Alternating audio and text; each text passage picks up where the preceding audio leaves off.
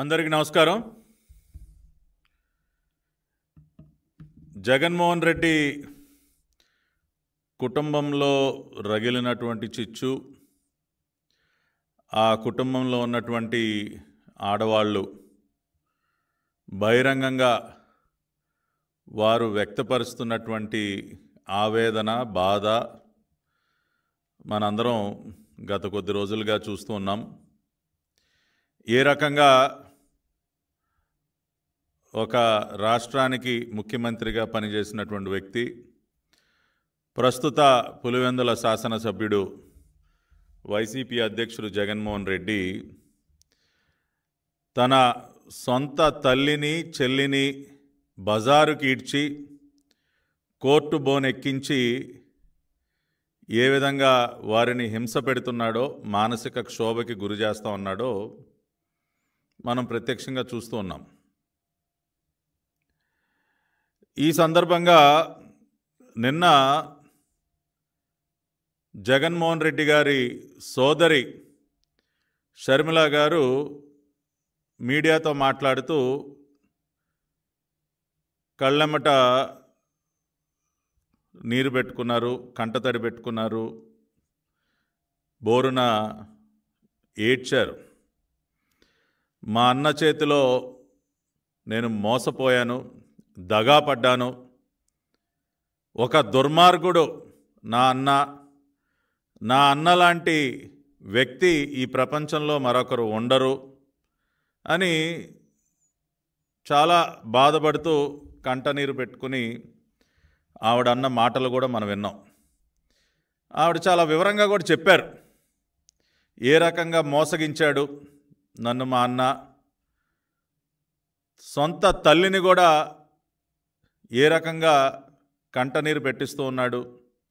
ఆఖరికి ఆ తల్లి ఇంకా నేను నన్ను ఎందుకు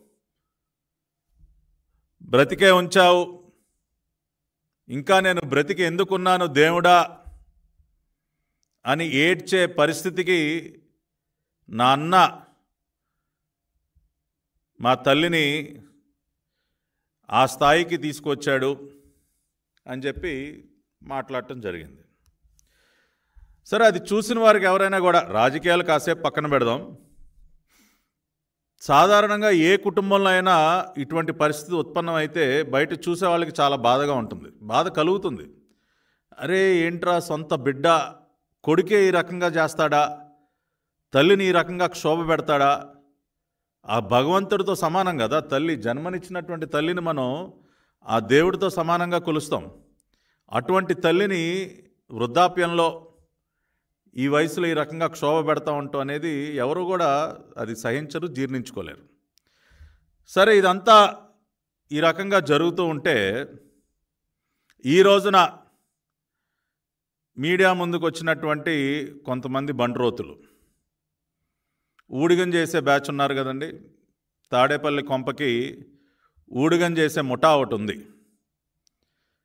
ఆ ముఠా సభ్యులుగా వైవి సుబ్బారెడ్డి విజయసాయి రెడ్డి సజ్జల రామకృష్ణారెడ్డి కరుణాకర్ రెడ్డి ఇటువంటి బ్యాచ్ అంతా కూడా ఉంటారు.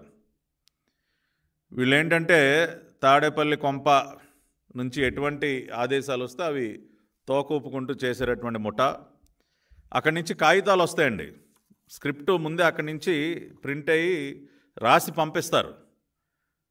దాన్ని చాలా నిబద్ధతతో చాలా సిన్సియర్గా మీడియా ముందు చదివేయటం వీళ్ళకి బాగా అలవాటు. సో ఈ ఊడిగం చేసే ముఠా సభ్యుల్లో కొంతమంది వాళ్ళ మీడియా ముందుకు వచ్చి విజయసాయి రెడ్డి కరుణాకర్ రెడ్డి. వీరిద్దరు కూడా వాళ్ళ మీడియా ముందుకు వచ్చి అసలు ఇదంతా పెద్ద కుట్ర. ఈ కుట్ర వెనకమాల చంద్రబాబు నాయుడు గారి హస్తం ఉంది. చంద్రబాబు నాయుడు గారి చేతిలో కీలుబొమ్మగా మారిపోయింది షర్మిల.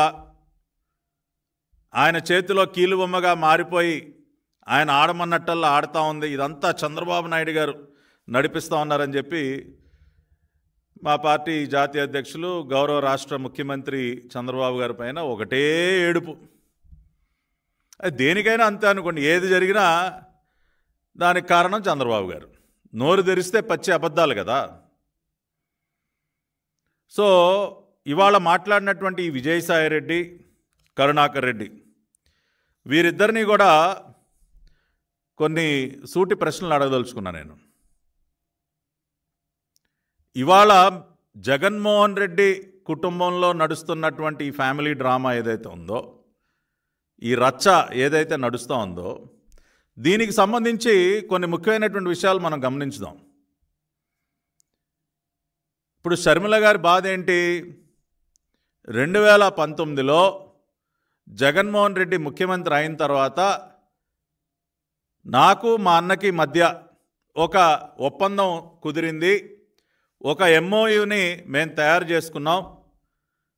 ఆ ఎంఓయులో ఆస్తుల పంపకాలు. ఎవరికి ఎంత ఆస్తి దక్కాలి దానికి సంబంధించినటువంటి విషయాలన్నీ కూడా ఎంఓయూలో రాసుకోవటం జరిగింది. కానీ ఆ తర్వాత ఆ ఎంఓయులో ఒప్పుకున్నటువంటి విషయాలకి కట్టుబడి ఉండకుండా మా అన్న తిరిగి నాపైనే కేసు పెట్టాడు. నాపైన నా తల్లి విజయమ్మ పైన కేసు పెట్టడం జరిగింది కోర్టు గీడటం జరిగింది అని చెప్పి షర్మిల గారు వ్యక్తపరుస్తున్నటువంటి బాధ. ఏమయ్యా ఏటు విజయసాయిరెడ్డి? ఏమయ్యా కరుణాకర్ రెడ్డి? ఈ రెండు విషయాలకి చంద్రబాబు నాయుడు గారికి ఏమైనా సంబంధం ఉందా? ఇప్పుడు జగన్మోహన్ రెడ్డి షర్మిల వీళ్ళిద్దరూ తాడేపల్లి కొంపలో కూర్చుని చంద్రబాబు నాయుడు గారిని పిలిచి ఆయన మధ్యలో కూర్చోబెట్టి వాళ్ళిద్దరూ అన్న ఎంఓయూ రాసుకున్నారా? ఏమయ్యా ఏటో? ఇందాకేదో వాగుతూ ఉన్నావు కదా అంతా చంద్రబాబు నాయుడు గారే. దీని వెనక కుట్ర ఇది అసలు పెద్ద ఇది షర్మిల కీలుబొమ్మగా మారిపోయిందని చాలా మాట్లాడుతూ ఉన్నావు. కరుణాకర్ రెడ్డి నువ్వు కూడా. జగన్మోహన్ రెడ్డి షర్మిలకి మధ్య జరిగినటువంటి ఎంఓయూ ఆ ఎంఓయూ సంతకాలు పెట్టిన రోజున చంద్రబాబు నాయుడు గారి సమక్షంలో ఏమైనా పెట్టారా? చంద్రబాబు నాయుడు గారిని మధ్యవర్తిగా పెట్టి ఆ ఎంఓఏ ఏమైనా రాసుకున్నారా? ఏం సంబంధం ఆ చంద్రబాబు నాయుడు గారికి? వాళ్ళిద్దరూ కూడా కూర్చుని ఒక ఎంఓయూ రాసుకున్నారు. దానికి మాకు ఏం సంబంధం? బాబు గారికి ఏం సంబంధం?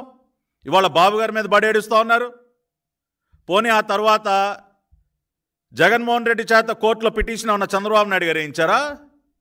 చంద్రబాబు నాయుడు గారు కోర్టులో నీ తల్లిపైన నీ చెల్లిపైన కోర్టులో పిటిషన్ ఏమని జగన్మోహన్ రెడ్డికి చెప్పారా?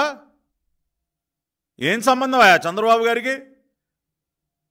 అంటే ప్రపంచంలో ఉన్నటువంటి ప్రజలందరూ గొర్రెలు అనుకున్నారా? ఏది పడితే అది వాగితే మీడియా ముందుకు వచ్చి నమ్మటానికి ఉన్న గొర్రెల్లా కనపడతా ఉన్నారా? ఏమి సంబంధం ఆయా మాకు? బాబు గారికి ఏం సంబంధం? ఎవడికి చెప్పి మీరు ఎంఓయూ రాసుకున్నారు? మీ నాయకుడు ఎవడికి చెప్పి కోర్టులో పిటిషన్ వేశాడా? కేసు?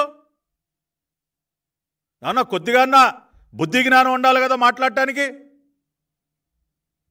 రచ్చ చేసుకుంది మీరు. సొంత తల్లిని చెల్లిని కోర్టు ఈడ్చింది మీ నాయకుడు. చంద్రబాబు నాయుడు గారికి ఏం సంబంధమాయా ఆయా? కొద్దిగా కామన్ సెన్స్ ఉండాలి కదా. రెండోది ఇంకొక పక్కన మీ నాయకుడు జగన్ రెడ్డి. ఇవాళ ఇదంతా చంద్రబాబు నాయుడు గారే నడిపిస్తూ ఉన్నారు. షర్మిల చంద్రబాబు నాయుడు గారి చేతిలో కీలు బొమ్మందని నువ్వు మాట్లాడుతూ ఉన్నావు కదా విజయసాయిరెడ్డి? కరుణాకర్ రెడ్డి? మీ నాయకుడు ఏం మాట్లాడా మొన్న? మొన్న విజయనగరం జిల్లా వెళ్ళిన రోజున మీ నాయకుడు ఏం మాట్లాడాడో విందాం. ఇటువంటి కుటుంబ గొడవలు లేవా అని అడుగుతా ఉన్నా. అయ్యా ఇవన్నీ గర్ ఇవన్నీ ప్రతి ఇంట్లో ఉన్న విషయాలే. వీటిని నీ స్వార్థం కోసం వీటిని పెద్దవి చేసి చూపించడం. ఏమన్నాడు? మళ్ళీ ఇందాం కదా మళ్ళీ ఇందాం. మిమ్మల్ని అందరినీ ఒకటే అడుగుతా ఉన్నా. అయ్యా మీ ఇళ్ళలో ఇటువంటి కుటుంబ గొడవలు లేవా అని అడుగుతా ఉన్నా. అయ్యా ఇవన్నీ గర్ గర్జీ కహానీలు ఇవన్నీ ప్రతి ఇంట్లో ఉన్న విషయాలే. వీటిని నీ స్వార్థం కోసం వీటిని పెద్దవి చేసి చూపించడం. ఏమంటా ఉన్నాడే మీ నాయకుడు జగన్ రెడ్డి? విన్నారా? ఇవన్నీ చాలా కామన్ ప్రతి ప్రతి ఇంట్లో ఉండేటటువంటి గొడవలే. సర్వసాధారణం. ఘర్ ఘర్కి కహాని. ఏమా ఏటు విజయసాయిరెడ్డి? ఏమా కరుణాకర్ రెడ్డి ఏమంటా ఉన్నాడు మీ నాయకుడు? ప్రతి ఇంట్లో ఉండేటటువంటి ఘర్ ఘర్కి కహాని. ఇంత చిన్న విషయాన్ని అనవసరంగా భూతద్దంలో పెట్టి చూస్తూ ఉన్నారు చాలా పెద్దదిగా చిత్రీకరిస్తూ ఉన్నారని చెప్పి మీ నాయకుడు జగన్ రెడ్డి అన్న మాటలయ్యా. జగన్ రెడ్డి ఏమంటా ఉన్నాడు? ఇది చాలా కామన్ ఇది చాలా చిన్న విషయం. ప్రతి ఇంట్లో ఉండేటటువంటి విషయం. ఘర్ ఘర్కి కహాని అని చెప్పి ఈ విషయంలో చాలా నిజాయితీగా ఒప్పుకున్నాడు మీ నాయకుడు? ఎస్ నేనే ఈడ్చా నా తల్లిని నా చెల్లిని కోర్టుకని. ఒక పక్కన నీ నాయకుడేమో ఇది నేనే చేశా ఇది చాలా కామను ఇది ప్రతి ఇంట్లో ఉంటుంది ఇది గర్గర్కి కహాని. అని ఆయన మాట్లాడుతూ ఉంటే మీరేంటే వచ్చి బాబు గారు బాబు గారు బాబు గారు అని బాబు గారు జపం చేస్తారు మీరు? వెళ్ళి అడగండి ఆ తాడేపల్లి కొంపకెళ్ళి అడగండి. అడిగితే చెప్తాడు యూజ్లెస్ ఫలో నేనేం చెప్పా ఇది గర్గర్కి కహాని అని చెప్పాను కదా ఎవడు మిమ్మల్ని వెళ్ళి ప్రెస్ మీట్ పెట్టమన్నారని అంటాడు ఒక వర్షనం. రెండో వర్షన్ ఏమో అక్కడ ఉన్నటువంటి జీతగాడు మీ చేత కాగితాల మీద స్క్రిప్టులు రాసి చదివేస్తాడు. అంటే అన్నీ మీరే మాట్లాడతారు. గర్గర్కి కహాని అని మీరే మాట్లాడతారు. మళ్ళీ వెనకమాల బాబు గారు కుట్రా అని చెప్పి మీరే మాట్లాడతారు. ఏమన్నా అర్థం ఉందా? ఆయన ఏంటా గర్గర్కి కహాని? మతుండే మాట్లాడుతూ ఉన్నాడా మీ నాయకుడు? ఏ ఇంట్లో ఏ ఏ బిడ్డ తల్లిని కోర్టుకి ఇడిస్తాడా? అంటే ప్ర- ఇవాళ ప్రపంచంలో ఉన్నటువంటి కొడుకులందరూ తల్లుల్ని కోర్టులు గీడుస్తూ ఉన్నారా? చెల్లెల పైన కేసులు వేస్తూ ఉన్నారా? ఈ రకంగా వాళ్ళని దగా చేసి మోసం చేస్తూ ఉన్నారా? ఏంటాయా గరగరికి కానీ మీరు చేసే తప్పుడు పనుల్ని మళ్ళీ అందరికీ ఆపాదించేసి మళ్ళీ సిగ్గు లేకుండా దాన్ని కవర్ చేసుకునే ప్రయత్నం. కాబట్టి మీ నాయకుడు చాలా నిజాయితీగా ఒప్పుకున్నాడు. అది వినండి మళ్ళీ ఒకసారి. ఇప్పుడు వినిపించా కదా? అయినా ఏంటా కరుణాకర్ రెడ్డి వాళ్ళు చాలా ఎక్కువ మాట్లాడుతూ ఉన్నావు? అసలు ఏంటా నీ చరిత్ర? నీ చరిత్ర ఏంటా తిరుపతిలో? దొడ్డాపురం వీధి సందులో దొడ్- దొడ్డాపురం వీధి సందులో ఒక చిన్న ఇంట్లో అద్దెకుండేటటువంటి అద్దెకున్నటువంటి చరిత్ర నీది. అది కూడా ఎక్కడో రెండో అంతస్తులో. ఏమయ్య కరుణాకర్ రెడ్డి? అంతే కదా? దొడ్డాపురం వీధిలో చిన్న సందులో సెకండ్ ఫ్లోర్లో ఒక చిన్న ఇంట్లో అద్దెకున్నావు నువ్వు. తిరుపతి ఆర్టీసీ బస్ స్టాండ్ ఎదురుగుండా కాట్రగడ్డ సాయి అనే వ్యక్తికి చెందినటువంటి ఒక జెరాక్స్ షాప్లో ఫోటోస్టాట్ షాపులో ఒక చిన్న పార్ట్నరు నువ్వు ఓనర్ కూడా కాదు. కాట్రగడ్డ సాయి అనే వ్యక్తి యొక్క జెరాక్స్ మెషిన్ షాపులో ఒక చిన్న పార్ట్నర్షిప్ తీసుకుని అక్కడ ఫోటోస్టాట్లు తీ- ఫోటో కాపీలు తీస్తూ ఉండేవాడు నువ్వు. అది నీ గత చరిత్ర. ఇవాళ నీకు వేల కోట్ల ఆస్తులు ఎక్కడి నుంచి వచ్చాయా నీకు? మొత్తం స్వామివారి సొమ్మే మింగావుగా? మొత్తం టీటీడీ సొమ్మే మింగావు కదా? టీడీఆర్ బాండ్లు అమ్ముకున్నావా? ఇటువంటి స్కాములు కుంభకోణాలు చేసి తిరుపతిలో ఆర్టీసీ బస్ స్టాండ్ ఎదురుగుండా ఫోటోస్టాట్ మెషిన్ నడుపుకున్నటువంటి చరిత్ర నీది. ఎక్కడి నుంచి వచ్చినాయా? ఏం వ్యాపారాలు చేస్తూ వచ్చాయా నీకు? ఇవాళ ప్యాలెస్లు కట్టుకున్నావు? ఎక్కడి నుంచి వచ్చింది నీకు ఆ సొమ్ము? దొడ్డాపురం వీధిలో చిన్న ఇంట్లో అద్దుకున్నటువంటి నువ్వు సెకండ్ ఫ్లోర్లో ఎక్కడో? ఇవాళ ఇన్ని ప్యాలెస్లు ఎక్కడి నుంచి కట్టుకున్నావాయా? ఎవడికి తెలియదా నీ చరిత్ర? నువ్వు చంద్రబాబు నాయుడు గారి గురించి మాట్లాడతావు. మీ ముఠా మీ జగన్ రెడ్డి మీ మీ నాయకుడు మీ ముఠా సభ్యులు అందరిది కూడా ఇదే చరిత్ర కదా? ఇవాళ చంద్రబాబు నాయుడు గారి చెల్లెల గురించి మాట్లాడుతూ ఉన్నావు ఏ రోజైనా చంద్రబాబు నాయుడు గారి కుటుంబ సభ్యులు ఎవరైనా ఆయన చెల్లెళ్ళు ఎప్పుడైనా మా అన్న మాకు ఈ రకంగా ద్రోహం చేశాడని కానీ ఆ రకమైనటువంటి బాధను ఎప్పుడైనా వ్యక్తపరిచారు? ఈ రోజుకి పండగ సంక్రాంతి పండగ వచ్చిందంటే నిజమైనటువంటి పండగ చంద్రబాబు నాయుడు గారి ఇంట్లో చూస్తాం మనం. మొత్తం కుటుంబం మొత్తం ఒక చోట చేరి చెల్లెళ్ళు అందరూ వాళ్ళ పిల్లలు భువనేశ్వర్ గారి కుటుంబ సభ్యులు మొత్తం ఒక ఇంట్లో నిజమైనటువంటి సంక్రాంతి చంద్రబాబు నాయుడు గారి ఇంట్లో చూస్తాం మనం. అది కుటుంబం అంటే కుటుంబం అంటే ఆ రకంగా ఉండాలయా ఒక పండగలాగా ఉండాలి. ఒక కుటుంబాన్ని చూస్తే ఒక పండుగ గుర్తుకు రావాలి. అటువంటి కుటుంబం ఆయా చంద్రబాబు నాయుడు గారి కుటుంబం. ఈ రకంగా చెల్లెళ్ళని రోడ్డు మీదకి ఇడ్చి తల్లిని కోర్టుకి ఇడ్చి దీన్ని ఒక కుటుంబం అంటారా? జగన్మోహన్ రెడ్డిని ఒక మనిషి అంటారా? మళ్ళీ మీరు బాబు గారితో పోలిస్తారా? కొద్దిగా సిగ్గుండాలా మీకు? ఏం వ్యాపారాలు చేశాడా జగన్మోహన్ రెడ్డి? ఇవాళ ఏదో కొత్తగా ఒక వర్షం. జగన్మోహన్ రెడ్డి అసలు అత్యంత కరుణామయుడు దయామయుడు. చాలా మంచివాడు అతి మంచితనం. ఆయన చెమటోడ్చి కష్టార్జితం అంట ఆయన సంపాదించింది. ఆయన నైపుణ్యం అంట అసలు ఆయన ఆయనకు ఉన్నటువంటి మేధస్సుతో సంపాదించిన సొమ్ము చెల్లికి ఇచ్చాడంట అసలు ఆ రకంగా ఎవడైనా ఇస్తాడా ఈ భూప్రపంచంలో అని? మళ్ళీ దానికి ఇంకో కొత్త లైను. ఈ బులుగు మీడియాలో కొంతమంది పెయిడ్ ఆర్టిస్టులు పెట్టుకుని ఏ అన్నైనా సొంత డబ్బుని కష్టార్జితాన్ని ఎవరైనా ఇస్తారా? తండ్రి సొమ్ము అయితే ఏమన్నా వాటాడగొచ్చు కానీ అన్న కష్టార్జితంలో నుంచి ఎలా అడుగుతారు ఏంటా? జగన్ రెడ్డి కష్టార్జితం ఏంటి? రెండు వేల మూడు నాలుగులో Jaganmohan Reddy income tax return తీవా ఎంతయా జగన్మోహన్ రెడ్డి ఆదాయం? తొమ్మిది లక్షల పంతొమ్మిది వేలు. రెండు వేల రెండు వేల మూడు నాలుగు జగన్మోహన్ రెడ్డి ఇన్కమ్ ట్యాక్స్ రిటర్న్లు ఎంత? ఆయన డిక్లేర్ చేసిన ఆదాయం తొమ్మిది లక్షల పంతొమ్మిది వేలు. మీ నాయకుడి యొక్క కష్టార్జితం ఇవాళ దేశంలోనే అత్యంత ధనిక ముఖ్యమంత్రి మొన్నటి వరకు ముఖ్యమంత్రి వాళ్ళ మాజీ అనుకోండి మాము డిక్లేర్డ్ అఫీషియల్గా డిక్లేర్డ్ అసెట్సే దాదాపుగా ఎనిమిది వందల కోట్లు. ఎక్కడి నుంచి వచ్చినాయా? తండ్రి ముఖ్యమంత్రి కాకముందు వాట్ ఈజ్ జగన్మోహన్ రెడ్డి? ఏం వ్యాపారాలు చేశాడా? ఏమి కష్టార్జితం? రెండు వేల ఒకటి వరకు అసలు వ్యాపారం ఒక అసలు కంపె ఏ కంపెనీ కూడా అతని పేరు మీద లేదు కదా?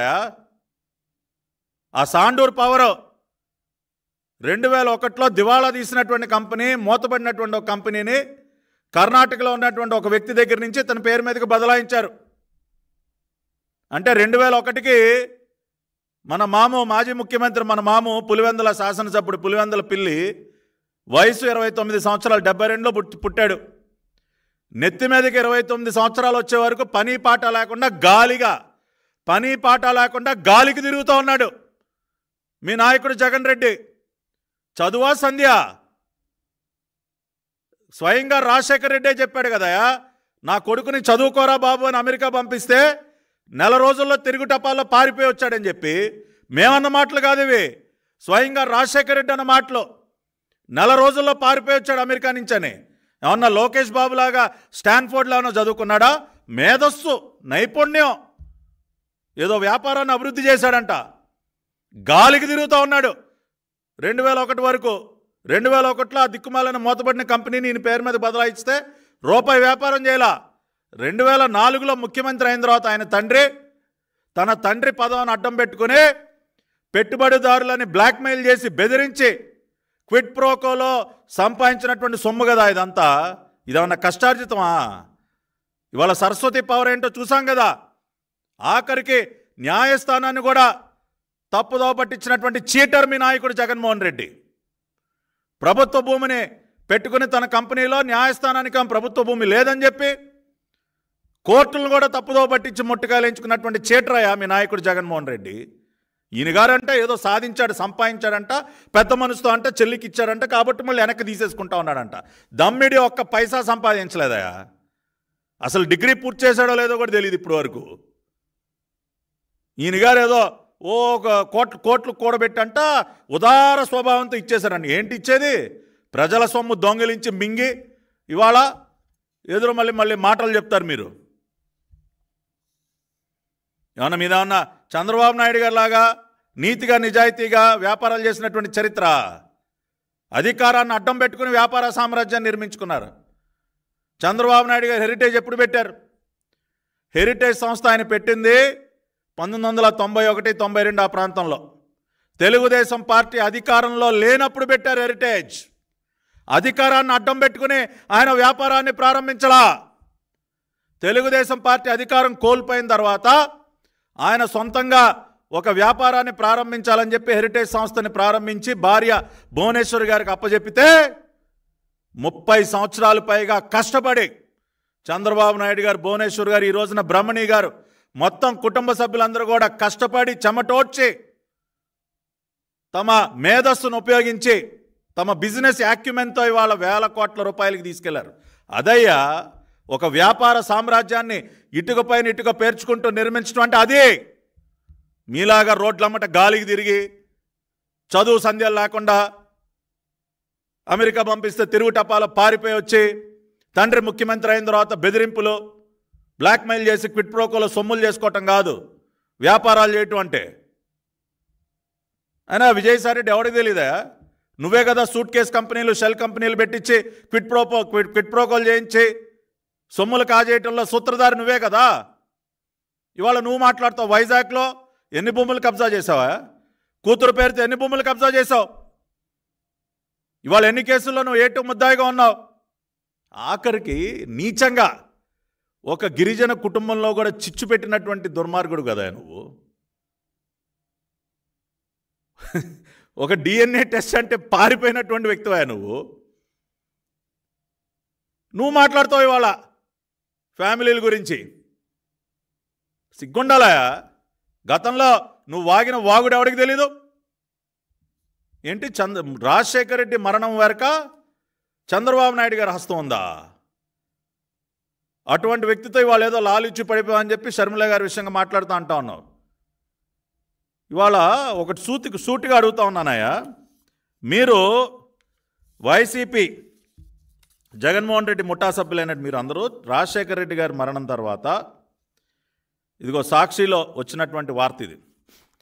ఆగ్రహ జ్వాల వైఎస్ మరణం వెనక కుట్ర రాష్ట్ర వ్యాప్తంగా రిలయన్స్ సంస్థలపైన దాడులు విధ్వంసం. ఆ రోజున మీరు చేసినటువంటి పనులయ్యా రాజశేఖర రెడ్డి గారి మరణం వెనుక రిలయన్స్ సంస్థ యొక్క కుట్ర ఉంది అని మీరు మాట్లాడినటువంటి మాటలు మీరు చేసినటువంటి విధ్వంసం. ప్రపంచంలో వేరే ఎవరు అనలా. మేము అనలేదే రిలయన్స్ పైన. రిలయన్స్ పైన మేమే వేలెత్తి చూపించలా. ఎవరు కూడా రిలయన్స్ గురించి కానీ ముఖేష్ అంబానీ గారి గురించి కానీ ఎవరేం మాట్లాడలా. కానీ మీరు మాట్లాడారు. కేజీ బేసిన్లో గ్యాస్ కోసం రిలయన్స్ ఈ రకంగా కుట్ర చేసి రాజశేఖర రెడ్డి గారిని చంపించిందని మీరు మాట్లాడారు. వాళ్ళ రిలయన్స్ స్టోర్లను తగలబెట్టారు. మరి ఆ తర్వాత అదే రిలయన్స్ సంస్థకు చెందినటువంటి పరిమళ నత్వానీ గారికి మీ పార్టీ తరఫున రాజశేఖర రాజ్యసభ సభ్యత్వాన్ని దేనికి ఇచ్చారు సార్? చెప్పండి విజయసాయిరెడ్డి గారు. ఇవాళ రాజ్యసభలో మీ పక్కనే కూర్చున్నటువంటి పరిమళ నత్వానీ గారు ముఖేష్ అంబానీ గారికి అత్యంత ఆప్తులు రిలయన్స్ సంస్థలో కీలకైన కీలకమైనటువంటి వ్యక్తి. మరి అదే పరిమళ నత్వాని గారికి చెందిన రిలయన్స్ సంస్థ పైన మీరు అన్నటువంటి మాటలు ఏంటి? రాజశేఖర రెడ్డి గారి మరణం వెనక కుట్రలో రిలయన్స్ పాత్ర ఉందని మీరు అన్నారా లేదా? అంటే ఏ పూటకు ఆ పూట ఏ మాట పడితే ఆ మాట.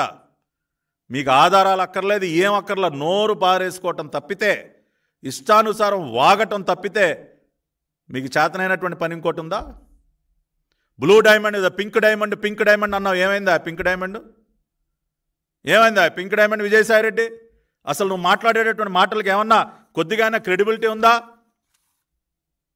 అదేవిధంగా సుబ్బారెడ్డి ఆయన కూడా మాట్లాడతాడు. ఈయన గారు ఒక గజ దొంగ మైనింగ్ బమిడికలొద్దు దగ్గర లాట్రైటు బాక్సైటు విపరీతంగా దోచుకున్నటువంటి చరిత్ర నీది కదా సుబ్బారెడ్డి. టీటీడీలో ఎన్ని టికెట్లు అమ్ముకుని ఎంత సంపాదించావు? ఎంత సంపాదించావా? ఆఖరికి మొన్న మీరు చేసినటువంటి నీచమైనటువంటి పనులు టీటీడీలో స్వామివారి ప్రసాదానికి సంబంధించి కూడా మీరు ఎంత ఏ స్థాయికి దిగజారిపోయారో ఏ రకంగా కలుషితం చేశారో అత్యంత పవిత్రంగా భా భావించినటువంటి ప్రసాదం విషయంలో కూడా మీరు ఎంత దిగజారిపోయారో ఇవన్నీ చూసిన తర్వాత కూడా మీరు మాట్లాడతారు. అసలు ఏం అర్హత ఉంది మీకు? చంద్రబాబు నాయుడు గారి గురించి చంద్రబాబు నాయుడు గారి కుటుంబం గురించి మాట్లాడేటువంటి కనీస అర్హత మీకుందా? సిగ్గుపడండి ఆ మీరు. అటువంటి నీచమైనటువంటి నాయకుడి నాయకత్వంలో పనిచేస్తున్నందుకు సిగ్గుండాలి. ప్రజల నుంచి దోచేసుకున్నటువంటి సొమ్ము కోసం తల్లిని చెల్లిని వాళ్ళ కోట్లు గీడ్చి ఏదో కష్టార్జితం అంట. ఏం కష్టార్జితం అయ్యా? అక్కడి నుంచి పంపించినటువంటి స్క్రిప్టులు చదవటం.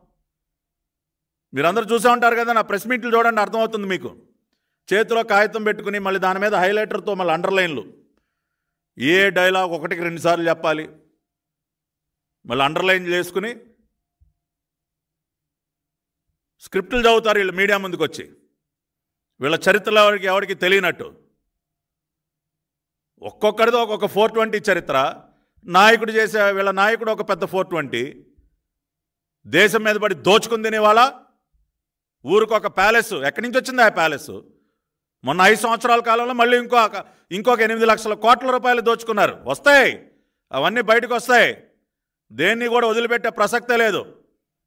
ఇసుకలో ఎంత దోచుకున్నారు లిక్కర్లు ఎంత దోచుకున్నారు మైనింగ్లో ఎంత దోచుకున్నారు ప్రభుత్వ భూములు ఎక్కడెక్కడ ఎంతెంత కబ్జా చేశారు మొత్తం మొత్తం ఒక్కొక్కటే వస్తాయి. దోచుకుని తింటాం తప్పితే ఇంకా ఇంకొక పని చేత కాదు ఇవాళ అంటే వీళ్ళు కష్టార్జితాలు. ప్రజల్ని పీక్కుదని సంపాదించి మళ్ళీ కష్టార్జితాలు ఉదార స్వభావంతో మళ్ళీ ఇచ్చేటాలు. మళ్ళీ ఈ వ్యవహారం అంతా మళ్ళీ మాకు ముడిపెట్టడం కాబట్టి ఇక కట్టి పెట్టండి. ఈ అసంబద్ధ అసంబద్ధ ప్రేలాపనలు ఈ పిచ్చివాగుళ్ళని కూడా కట్టిపెట్టండి ఈ మాటలు ఎవడు కూడా వాళ్ళ నమ్మే పరిస్థితులలో చి ఉమ్మేస్తా ఉన్నారా? ముఖం మీద ఉమ్మేస్తూ ఉన్నారు. సొంత తల్లిని చెల్లిని ఈ రకంగా రోడ్డుకి ఇడ్చి బజారుకి ఇడ్చి వాళ్ళని ఇంత క్షోభ పెడుతున్నందుకు ఇవాళ ఉమ్మేస్తూ ఉన్నారు మీ మొహం మీద. మీకై మీరు చేసుకున్నటువంటి రచ్చకి మళ్ళీ మాకు దానికి. మా బాబుగారి గురించి మాట్లాడటం. కాబట్టి నోళ్ళు అదుపులో పెట్టుకోండి. మీ చరిత్రలన్నీ ఇప్పుడు చదివి వినిపించా కదా ఎవడెవడు ఎవడి పుట్టిక ఎక్కడి నుంచి మొదలైంది? ఎవడి జీవితం ఎక్కడి నుంచి ప్రారంభమైంది? ఎవడెవడు ఎక్కడెక్కడ ఎంతెంత మింగి ఇవాళ విలాసవంతంగా ప్యాలెస్లో ఉంటా ఉన్నారో? మొత్తం ఉంది చరిత్ర అంతా. ప్రజలు పదకొండు సీట్లకి కుదేసిన తర్వాత కూడా ఇంకా సిగ్గు లేకుండా మాట్లాడుతూ ఉన్నారు. ఇవన్నీ చూసే కదా? ప్రజాగ్రహానికి మీరు మసి మ- కాలి బూడిదైపోయారు మీరు. అయినా కూడా పద్ధతులు మార్చుకోవట్లేదు. ఇంకొకసారి చంద్రబాబు నాయుడు గారి గురించి కానీ చంద్రబాబు నాయుడు గారి కుటుంబం గురించి కానీ ఎవడైనా ఎవడైనా సరే నోరు జారితే మాత్రం సహించేది లేదు. ఇంకొక మాట ఏమై విజయసాయిరెడ్డి? ఏంటో ఇందాక ఎర్రనాయుడు గారి గురించి మాట్లాడుతున్నావు ఏంటి? ఎర్రన్నాయుడు గారి అకాల మరణం గురించి కూడా నువ్వు మాట్లాడుతూ ఉన్నావు ఇందాక. ఖబర్దార్ విజయసాయిరెడ్డి. నోరు అదుపులో పెట్టుకో ఒళ్ళు దగ్గర పెట్టుకుని మాట్లాడు. ఇవాళ ఉత్తరాంధ్ర ప్రాంతానికి మళ్ళీ ఇన్ఛార్జిగా వేయించుకుని మళ్ళీ అక్కడ ఏదో ఊరేగుదాం అనుకుంటా ఉన్నావు.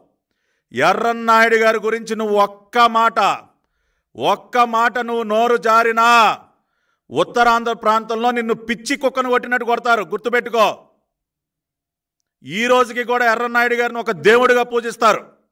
ఉత్తరాంధ్ర ప్రాంత ప్రజలందరూ ఒక దేవుడిగా పూజిస్తారు ఎర్రన్నాయుడు గారి గారిని.